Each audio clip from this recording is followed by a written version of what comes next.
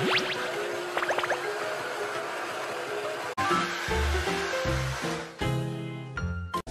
어, 밀가루 너무 많이 먹었어.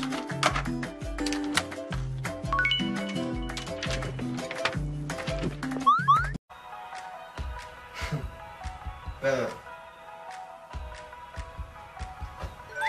너무 그리 좋아.